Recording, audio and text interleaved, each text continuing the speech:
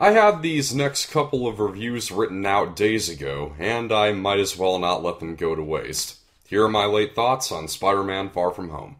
In this first installment of a new era for the MCU, the world is mourning the death of Iron Man, and they're looking to Spider Man, one of the few available Avengers, to be their hero.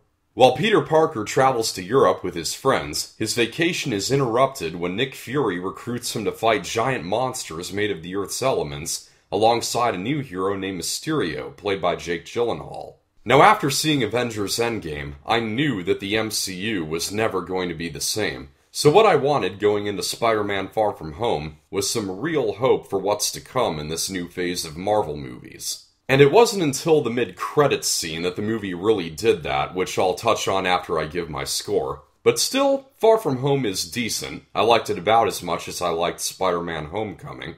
What keeps it from being a great Marvel movie is that the story doesn't have a lot of weight to it. It's understandable to have a more light-hearted movie after Endgame, but that tone that it goes for conflicts with what Peter Parker is facing. On top of missing Tony Stark, Peter feels that too much is being expected of him to just step up and be the next Iron Man, but it just doesn't bear the emotional heft that it should. I had a feeling that this would be the case when early in the movie we see this humorously cheap high school made slideshow of the deceased Avengers with Whitney Houston's I Will Always Love You playing over it.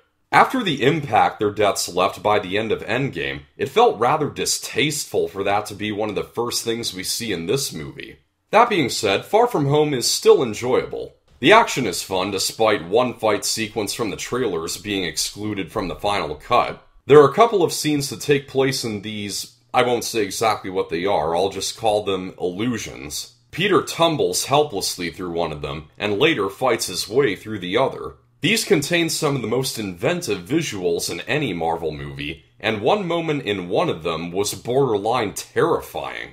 Tom Holland, while still not my favorite Spider Man, has his likability intact, and Jake Gyllenhaal as Mysterio is outstanding. He's such a fine actor, I honestly wonder if there's any role he can't play. And I'm so jealous that my brother ran into him at a cafe in Seattle once. That's no joke. A highlight of Homecoming was the supporting characters, and such is the case again here. Ned is a comedic dynamite. One of the funniest parts is how he and Betty Brant become an item totally out of the blue, and how that comes up now and then throughout the movie. The romantic element I thought was a weak aspect of Homecoming. Peter and Liz had a severe lack of chemistry, so I didn't feel anything when she moved away at the end. The romance is a little better in Far From Home. It's now MJ that Peter is crushing on, and they have one really good scene together on a bridge. Up until then, though, it only goes as far as Peter trying to make plans on how and where he's going to tell MJ how he feels. But they always get botched because he gets called in by Nick Fury, so Peter and MJ's screen time together is still limited. Aside from the elemental monsters, there is a main villain, and if you have any knowledge of the comics, you probably knew ahead of time who it is. The execution of the villain reveal is pretty cool, but his motivation is very generic, even done before in this very universe. So overall, this is less than the movie I wanted to see after Endgame. It doesn't bear the emotional weight that it ought to, and there are few surprises other than the mid-credits scene. But it still has that high school drama vibe that helps distinguish this Spider-Man from other iterations, and it's entertaining with some very creative visuals. I'm going to score this movie 1% lower than I did Homecoming. 63% for Spider-Man Far From Home. Okay, a couple of spoilers to get off my mind. The mid-credits scene was simultaneously a total oh no and a total oh yes moment.